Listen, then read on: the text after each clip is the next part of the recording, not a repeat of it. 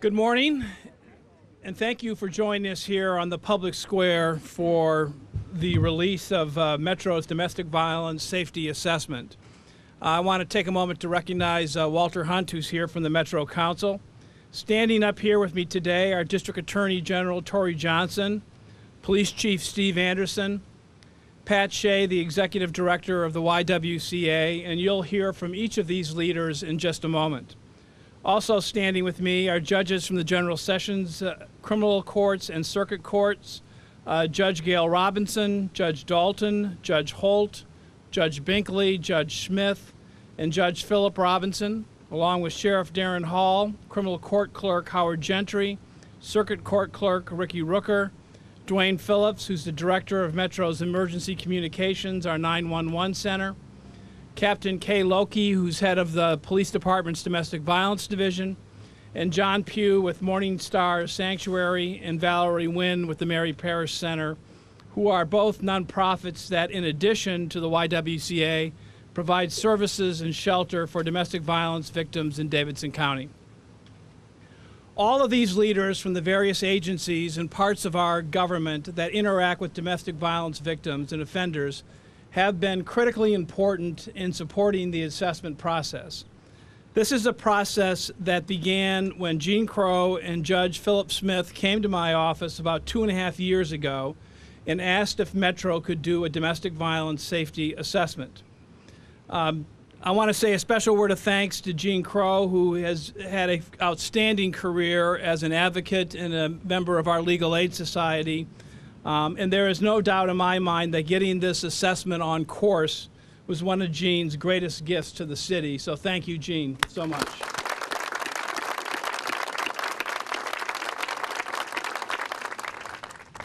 In Nashville, our various crime rates change from year to year. And thanks to our police chief and district attorney, most of the change in recent years has been major crime, especially homicide rates, going down.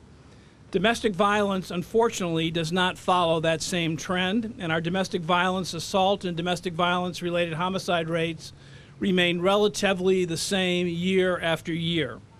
And this bothers me on several levels. It bothers me as a husband and as a father of two daughters, and also as a father of a son. It bothers me as a mayor who wants Nashville to be the very best city it can be, because for a city to stay on top, it has to be considered a safe city, a city for all of our residents where safety is paramount, especially families, women, and children. I want you to stop and think for a moment about who domestic violence affects.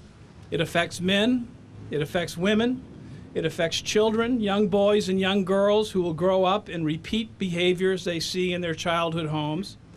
It affects people in poverty, it affects the middle class, it affects people on the high end of the economic spectrum. It can affect anyone, and no one, because of education or income, is immune.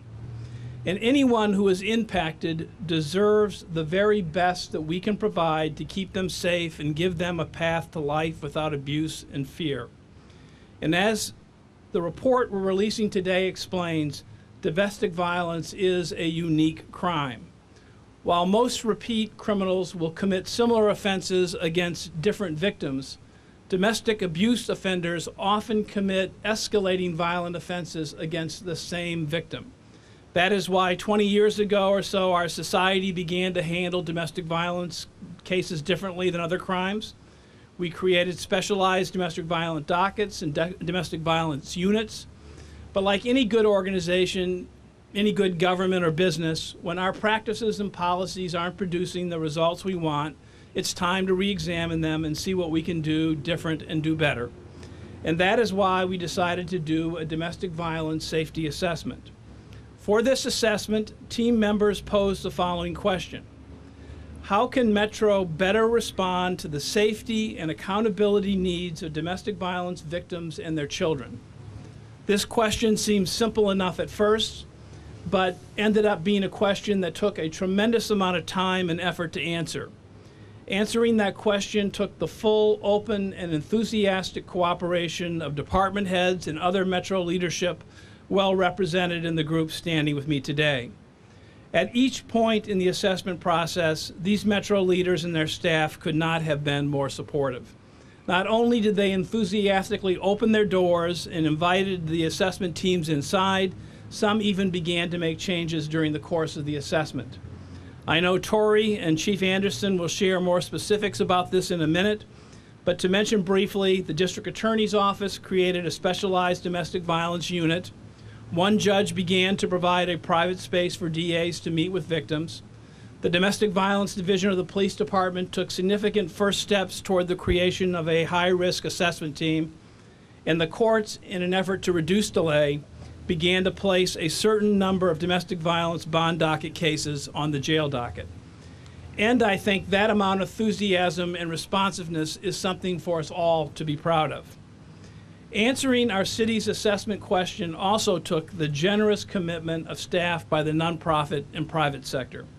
Organizations involved, in addition to those standing up here today with me, include our Kids Clinic, Legal Aid, Lioness Foundation, You Have the Power, Family and Children Services, Tennessee Child Advocacy Center, Batterers Intervention Program, 50 Forward, Vanderbilt, Wind Consulting, North Highland Consulting, and members from the Private Defense Bar. And most importantly, answering our city's assessment question took a team of over 100 community members that collectively volunteered close to 10,000 hours of their time on this project. To do their job of finding gaps in victim safety and offender accountabilities, these team members were trained by Praxis International on how to follow the national standards for domestic violence safety assessments. They were trained by local experts on how to respectfully interview victims of domestic violence. After being trained, they interviewed victims in court and at the shelters. They talked with practitioners about systems and process concerns. They observed night court, the jail dockets, the domestic violence bond dockets. They did police and sheriff ride alongs and poured over mountains of data, police reports, 911 tapes, and specific case review materials. I don't think anyone can argue the fact that this assessment was done with respect and with integrity. And that respect and integrity shows in each page of the recommendations of the report and the fact that we have so many leaders standing behind it. As you thumb through the pages, you will clearly see the team found quite a few domestic safety and accountability gaps.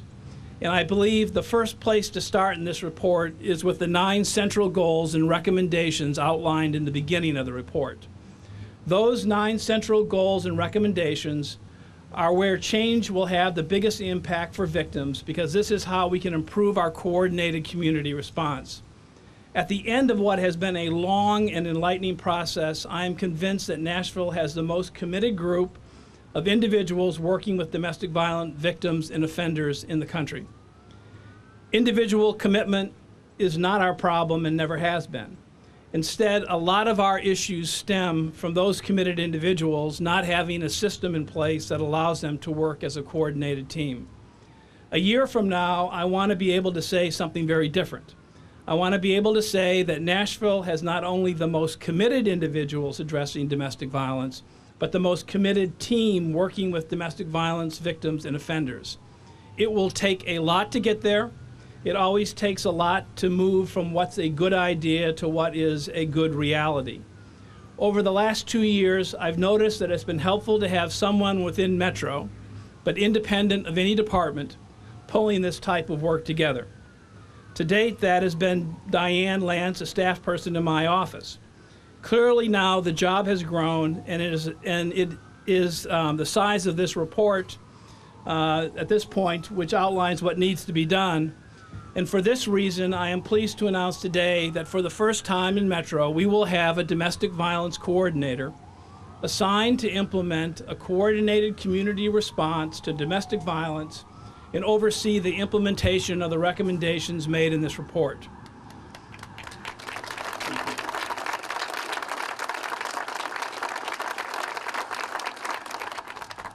Few months ago, my office applied for a grant with the state of Tennessee to fund a domestic violence coordinator position. We were awarded that grant, which will fund the position for the next three years. And I want to acknowledge uh, Bill Scollin, the Director of uh, Office of Criminal Justice Programs, who's here, and thank him and the state of Tennessee for their generosity. The primary objective of our domestic violence coordinator will be to work towards a central goal highlighted in the recommendation report, having a family justice center model for domestic violence in Nashville, which would include an integrated data collection system, standardized training for Metro employees that work with domestic violence victims, and increased victim services and advocacy at court. With the addition of this person, we will now have two people working out of my office to help our Metro departments accomplish the report's recommendations. It did not take long to figure out who would be the perfect person for this position. She was on the executive committee of the assessment team. She has been an advocate uh, for a court advocate for the YWCA. She has been a victim witness coordinator at the district attorney's office. She has worked for batters intervention programs. She has worked for the sheriff's office. And most recently, she has worked for legal aid. I'm pleased to announce that starting October 14th, Whitney McFalls will be the first ever Metro Domestic Violence Coordinator. Whitney, here she is.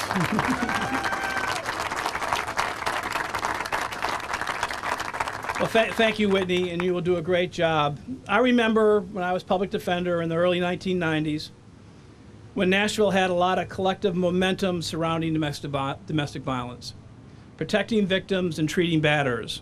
A lot of that momentum was driven by Andrea Conte when she was the first, when she was the first lady of Nashville and the founder of You Have the Power. Andrea is here today, and I'd like to acknowledge her as well and say thank you for your ceaseless commitment um, to this important issue. It is upon Andrea's hard work and others' hard work that we are seeing the second phase of Nashville's improved response to domestic violence. It's time to reinvent our collective response as a government and as a community to domestic violence. It's time for this type of change. And now, with this report, we're ready for that change. Again, thank you all for, who have been involved in the assessment process. I've been looking forward to the release of this report now. I'm looking forward to the day not far in the future when we can have a system for handling domestic violence cases that sets the bar for other communities and cities. Three key pieces of this effort going forward will be our district attorney's office, our police department, and our nonprofit community. And we're going to hear from each of them. And I'd like to now turn it over to our district attorney, Torry Johnson.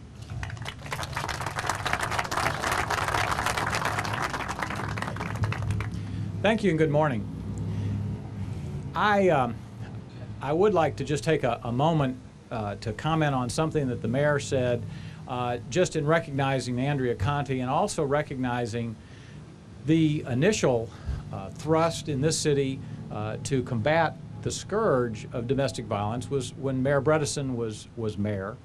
Uh, and at that time, uh, he, I think, moved the debate to the forefront it, it became public. He put resources behind it, and we've been working with that ever since. But, but uh, some of us, and I'm one of the ones that have been around a long time, we remember all that. But we also remember how, with over time, with budget constraints and so forth, changes were made, uh, resources were redeployed, and while we were still, uh, as always, committed to trying to work and do our best in the area of domestic violence, uh, the focus began to shift, began to get less, uh, less targeted, I guess you'd say. And so I think it's with a great deal of credit goes to this mayor, Mayor Dean, and his leadership in when, when being approached about the need for this, uh, didn't hesitate, but committed uh, the resources really of his office. Uh, Diane Lance, who was, has worked tirelessly on this, and knowing that she always had the mayor's support because he was interested in finding solutions that would better the plight of domestic violence victims throughout the city. And I think only through the mayor's leadership could you get such a complete and comprehensive and community-wide uh, program and assessment that's been done. Uh, many of us, uh, well, all of us in, that work in it on a daily basis, the district attorney, the police, the, pro, the courts and probation and so forth, it is sometimes very difficult to separate yourself from the pressures and challenges of everyday, uh, of dealing with your everyday duties. uh, it sometimes takes this, this kind of outside intervention to say, in addition to all this, we want you to take some time and be involved in an assessment pros- project uh, that is really going to take, take the time to look at how, how we do what we do, where we do it well, and how we could improve. Certainly, the mayor, uh, mayor's support uh, quickly, uh, some of it he realized that some of it's personnel, just not having enough people, not having enough boots on the ground to do the job. And he was, uh, uh, to, to that end, provided two new prosecutors to our office. Uh, since March, we have been able to uh, put them uh, full-time in domestic violence, which gives us an 11-person team and gets us back to the staffing we had in 2003. Uh, we now have six assistant district attorneys and five victim witness coordinators uh, who are working full-time in the area of domestic violence. Why is that important? Well, for a lot of reasons. One, well, one thing we did was move and make sure everybody, the entire team was together, physically together. Uh, it doesn't sound like a big deal, but it improves communication. Uh, that's, and that is vital when you're dealing with as many cases and with as many issues. The other thing that that staffing did was increase, uh, allowed us to put an emphasis on holding offenders accountable. Now, we do that every day in court, we hope. But at the same time, there are other things we can do. We can, we can be more consistent about revoking bonds when necessary, uh, pushing for probation revocations when people violate the terms and conditions. Sometimes agreements are, are, are entered into where prosecution is deferred for one way or another if the, the offender will do certain things. But if they don't do those, we need to be able to reactivate those cases. Those are things that are time, uh, uh, they're time sensitive, but they require a lot of commitment and a lot of resources. With the addition of these two prosecutors, we are now able to do that. Uh, we are able to staff serious cases with the Metropolitan Police Department's domestic violence unit, again, to bring the best minds together. Our victim witness coordinators, who are, who are so dedicated, uh, are making it their goal to try to contact victims of domestic violence within 48 hours. Uh, to make that first contact into what is going to be a confusing, uh, uh, sometime often confusing entree into the criminal justice system. And on top of all that, we have tried to do additional community outreach uh, by sponsoring and raising money for an apartment with the Mary Parrish Center, pencil partners with McGavock High School, and educating middle, middle school girls on domestic violence warning signs. It's a community effort. We appreciate it. We appreciate what the community has done. Uh, we're looking forward to uh, in improving our efforts in the area of domestic violence and working in conjunction with all the many people behind me and well and in front of me uh, to continue to make Nashville's response the best it possibly can be. And one of the key figures in that is our excellent chief of police, uh, someone who I've worked with uh, all my career. Uh, as, as I've been in the di- district attorney's office, he's been in the police department. Uh, I have the utmost respect for him, and Nashville's fortunate to have him, Chief Steve Anderson.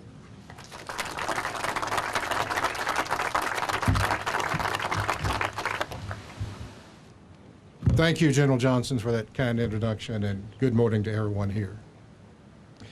It's clear from this gathering of concerned citizens, some standing behind, some out here, that Nashville is actively working on a number of innovative ways to achieve a real reduction in domestic violence. The recommendations contained in this morning's report, I believe, will assist in our goal to enhance protections for women and children while at the same time holding offenders accountable for their conduct. And I think it's good to pause again at this moment and realize that there were more than 100 people that volunteered their time to create this report. So thank you to each and every one of them that gave up their personal life to do this.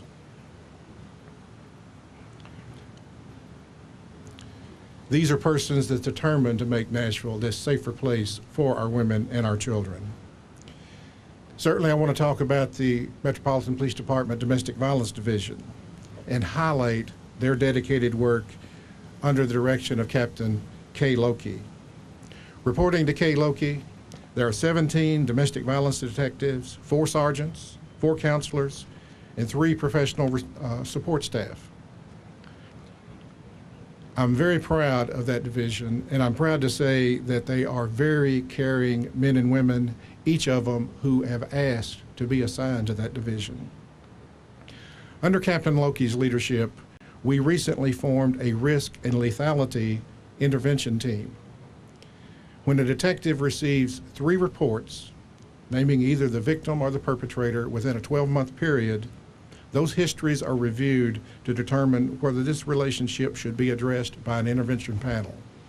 This panel consists of representatives from the District Attorney's Office, State Pardons and Parole, Metro Probation, Legal Aid Society, the YWCA, and a counselor from the Police Department Domestic Violence Division. When an inter- intervention plan is developed and put into place, there is follow-up with appropriate resources. Over the past months, 29 individuals have been presented to this panel. Another initiative Captain Loki will soon have in place deals with orders of protection. We are developing computer software to provide patrol officers, officers out there in the field patrolling our neighborhoods, information on persons that live in their zone, victims that live in their zone that are subject to the order of protection. And these patrol officers will drop by to conduct welfare checks, just to check in to see how's it going and document any information that might need to be passed along to the detectives. We'll also be checking on respondents. Now, respondents are the persons who, to whom the order of protection is directed against. We'll be doing this just as a reminder that the order of protection remains into place and that, we're monitoring their conduct. And during those visits, they'll receive a letter pointing out that the Domestic Violence Division is monitoring their every move. I need to tell you why this is important. In 2012, 60% of the 1,300 aggravated assault reports received by the Domestic Violence Division involved repeat offenders. This is yet another step in breaking that cycle of violence. Captain Loki is doing an excellent job of moving the initiatives of the Domestic Violence Division forward, but I'd be remiss if I didn't talk about some other people have, that have served in that capacity. Captain Rita Baker, Captain Dahana Jones, and Commander Michelle Donegan, who I think is in another meeting at this time. But those three individuals that served before Captain Loki uh, have taken their work and taken it to their new assignments. And they sort of remain my advisory team about what needs to be do- done in the way of moving our domestic violence division forward. So, and each one has built on the success of the past. So, thank you to each of you. You know, it was announced last week that the police department will be partnering with the Martha O'Bryan Center. They're receiving a $1 million grant to address domestic violence issues in the James Cayce projects. This program will be known as the Force for Good Project. Our officers, under the leadership of Commander Imhoff at the East, East Precinct, will be working with the Martha O'Bryan staff to promote the building of positive family and peer relationship throughout the James Cayce neighborhoods. Sustaining these relationships and breaking this silence of, of violence is the key to letting our children know that we care and keeping in, them on the path from following that, that pattern of violence. Domestic violence represents nearly 40% of all the aggravated assaults and 60% of all the of all the simple assaults that occurred in James Cayce over the past year. And this morning's report, the report we just received, and the Force for Good project in the James Cayce homes comes at a time that the YWCA is introducing a program entitled Engaging Men to Stop Violence Against Women and Girls. Let me repeat that. Engaging Men to Stop Violence Against Women and Girls. They'll be implementing that program throughout all of Nashville. I'm pleased to be on the advisory board for the YWCA. And the police department is proud to partner with YWCA President Pat Shea in working to make a real difference for the safety of Nashville, especially its women and children. Now, I don't want to steal Pat's thunder, but she is bringing to Nashville a gentleman named Tony Porter. I want you to listen very carefully to that name. I'm hoping that it will be a household word, a household word in the years to come. But Tony has an important message that all of Nashville needs to hear. Pat, thank you for all you do. Would you please come forward?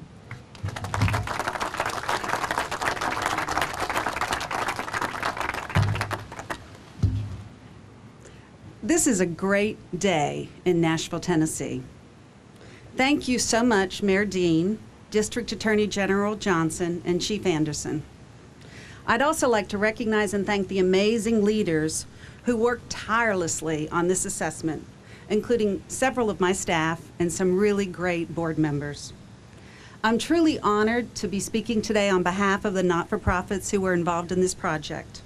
And I want to specifically recognize our friends and partners who are behind me um, the CEO of Morningstar and the CEO of Mary Parrish. Valerie and John have been partners with the YWCA working on domestic violence for years, and their work is work that all of us benefit from every day and every night when we go to sleep. None of us would be here today if it weren't for the visionary leader that we have in Mayor Karl Dean. You see, as President Harry Truman once said, men make history, not the other way around. In periods where there's no leadership, society stands still. Progress occurs when courageous, skillful leaders seize opportunities to change things for the better. Mayor Dean recognizes that domestic violence is a crisis in our community. Mayor Dean is courageous, for taking on this effort and allowing us to all benefit from the leadership of Diane Lance. And I believe, thanks to this safety assessment, things will change for the better. The assessment has shined the light on gaps in our community, opportunities for improvement. By closing these gaps in our system, women and children will be safer, and women and children will live. As you know, the YW runs one of the largest domestic violence programs in the state of Tennessee, which includes a 51 bed shelter. That shelter is full every night. We see women from Bellevue to Bordeaux to Belle Meade, from Mount Juliet to Madison. Last year, 350 women and children stayed with us for an excess of 16,000 nights. We also answered over 4,000 calls for information and emergency assistance.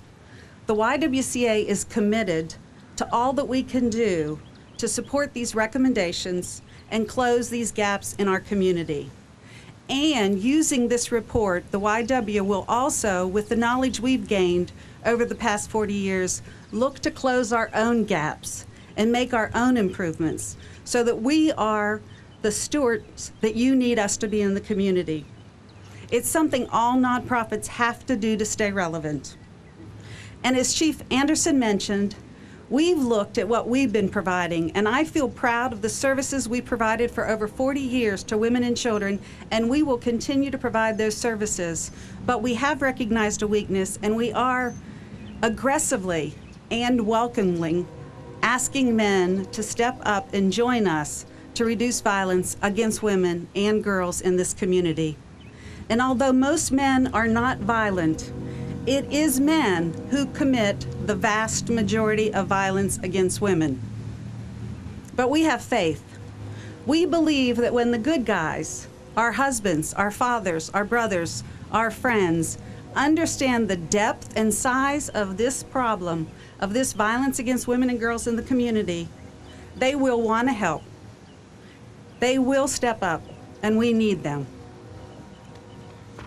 We want Nashville to be the safest city in the country for women and girls, and the Domestic Violence Safety Assessment is the roadmap for us getting there. It gives us all concrete, actionable things that we can work on. Thank you, Mayor Dean. I truly believe, as President Truman said, you have seized the opportunity to change things for the better.